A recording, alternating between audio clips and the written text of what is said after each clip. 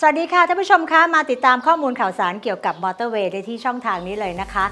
วันนี้มีเรื่องราวที่เกี่ยวข้องกับค่าผ่านทางมอเตอร์เวย์มาฝากนะคะ วันนี้เห็นแชร์กันไปหลายที่เหมือนกัน แล้วก็บางท่านก็อาจจะเกิดความสับสน เรื่องของค่าผ่านทางมอเตอร์เวย์นะคะ ซึ่งวันนี้เขามีข่าวประกาศออกมาทั้งในส่วนของค่าผ่านทางมอเตอร์เวย์สายบางปะอินนครราชสีมา และสายบางใหญ่กาญจนบุรีนะคะ เอาอย่างนี้ค่ะ เรามาทำความเข้าใจเรื่องของค่าผ่านทางกันแบบง่าย ๆ นี่เป็นตารางที่ทางกรมทางหลวงนำเสนอผ่านสื่อต่างๆ ให้ประชาชนได้ทราบกันในวันนี้นะคะ วิธีการดูว่าค่าผ่านทางสายไหนเท่าไหร่อย่างไร เอาง่าย ๆเลยนะคะ สีเขียวจะเป็นสำหรับรถ4ล้อนะคะ สีแดงจะเป็นรถ 6 ล้อ ส่วนสีฟ้าจะเป็นรถยนต์มากกว่า 6 ล้อค่ะ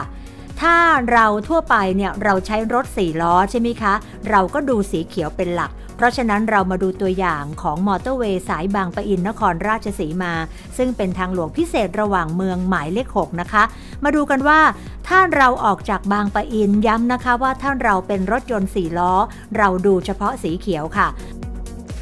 ถ้าเราเข้าที่ด่านบางปะอินออกด่านวังน้อย 25 บาท เข้าบางปะอินออกด่านหินกอง 50 บาท ถ้าจะไปออกที่ด่านสระบุรี 60 บาท ออกที่ด่านแก่งคอย 80 บาท ออกที่ด่านมวกเหล็ก 110 บาท ออกที่ด่านปากช่อง 145 บาท ออกที่ด่านสีคิ้ว 200 บาท และออกที่ด่านสุดท้ายคือด่านขามทะเลสอนะคะ 240 บาทค่ะ ส่วนท่านที่ขับรถประเภท 6 ล้อ หรือมากกว่า 6 ล้อ ท่านก็ดูตัวเลขลักษณะเดียวกันนะคะ เพราะฉะนั้นวันนี้บางทีเราไปเห็นพาดหัวข่าวกันบอกว่า ค่ามอเตอร์เวย์บางปะอินนครราชสีมาสูงสุด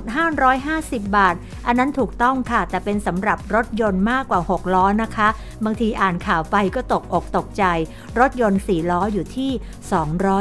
240 บาทค่ะ เพราะฉะนั้นวันนี้ก็เลยนำข่าวสารเรื่องนี้มาฝากนะคะ ส่วนอีกเส้นทางหนึ่งค่ะ ก็จะเป็นลักษณะเดียวกันนะคะ เวลาเราเห็นข่าวสารลักษณะนี้แล้วก็เขามีเป็นตารางค่าผ่านทางมา เราก็ดูเหมือนกันค่ะ อย่างสายบางใหญ่กาญจนบุรีนะคะ ซึ่งเป็นทางหลวงพิิเศษระหว่างเมือง หมายเลข 81 เช่นกันค่ะ ถ้าเราใช้รถยนต์4ล้อนะคะ เราก็ดูสีเขียว เข้าด่านบางใหญ่ออกด่านนครชัยศรี 45 บาท ออกศรีสะทอง 55 บาท ไปออกนครปฐมฝั่งตะวันออก 60 บาท นครปฐมฝั่งตะวันตก 75 บาท ท่ามะกา 105 บาท ท่าม่วง 120 บาทและกาญจนบุรี 150 บาทค่ะ เพราะฉะนั้นนี่คือวิธีการที่จะคำนวณว่าเราขึ้นที่ด่านไหนไปออกด่านไหน จะต้องจ่ายค่าผ่านทางเท่าไหร่นะคะ วันนี้ก็มีข่าวสารมาฝากกันค่ะ แล้วก็มีข่าวดีมาฝากนะคะสำหรับมอเตอร์เวย์สายบางปะอินนครราชสีมาตอนนี้มีข่าวว่าปี 2565 ถ้าการก่อสร้างเรื่องของเส้นทางแล้วเสร็จ จะเปิดให้ใช้ฟรีก่อนนะคะ ก่อนที่จะมีการเปิดจริงอย่างเต็มระบบในปี66ค่ะ เดี๋ยวยังไงถ้ามีข่าวสารจะนำมาฝากกันเป็นระยะระยะนะคะ วันนี้ขอบคุณสำหรับการติดตามค่ะ พบกันใหม่ครั้งหน้านะคะ สวัสดีค่ะ